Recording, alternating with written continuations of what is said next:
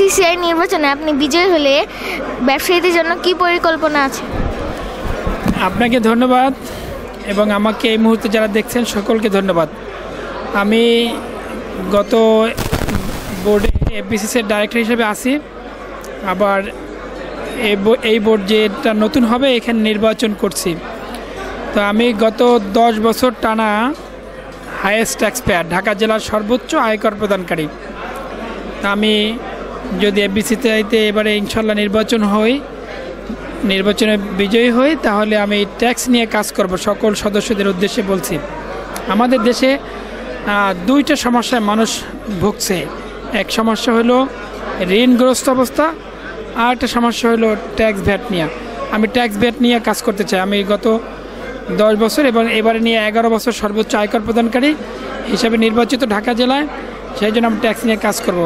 পাশাপাশি আমি এটাও বলি, আমরা যারা নির্বাচন করছি, সকলের প্রোফাইল দেখে শুনে আমাদেরকে ভোট দিতে হবে। কারণ হলো, আবেগে পড়ে এটা ব্যবসায়িক সর্বোচ্চ শীর্ষ- সংগঠন এফবিসিসিআই ব্যবসায়িকদের সর্বোচ্চ শীর্ষ সংগঠন, এখানে আবেগে পড়ে ভোট না দেওয়ার জন্য আমি অনুরোধ করছি।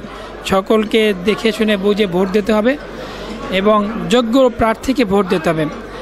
আমরা যখন নির্বাচন আসে হ্যাঁ যখন নির্বাচন হয়, তখন আমরা নিজেদেরকে নিজেরা অনেক বড় বড় প্রেজেন্ট করি, আবার নির্বাচনের পরে তাদেরকে পাওয়া যায় না। আমরা এই দেশের মানুষ, আমরা এই দেশেই আছি, আমরা এই দেশেই বাস করব, এই দেশেই থাকব। আমি সর্বোচ্চ আয়কর প্রদানকারী এইটাও আমার প্রায়োরিটি আমার এইটাই আমার মানে বড় একটা অর্জন, আমি এটাকে ওন করি।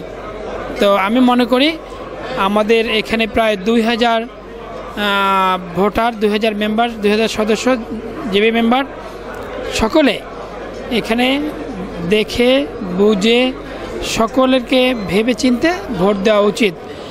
নির্বাচন হলো, ভোট দিলেন, আর কোনো খবর নাই, কোনো মিটিংয়ে পাওয়া যায় না, কোনো দূর সময় পাওয়া যাবে না এই রকমের লোকজনকে যাতে ভোট না দেওয়া হয়। আমি মনে করি, আপনারা ইনশাল্লাহ আমাদের ফুল প্যানেলে ভোট দেবেন। ব্যবসায়ী ঐক্য পরিষদকে ভোট দেবেন, মাহবুব ভাইয়ের প্যানেলকে ভোট দেবেন, জসিম ভাইয়ের ফুল প্যানেলকে ভোট দেবেন এবং ওই প্যানেলে আমি একজন প্রার্থী, আমাকেও সকলে ভোট দেবেন। ধন্যবাদ।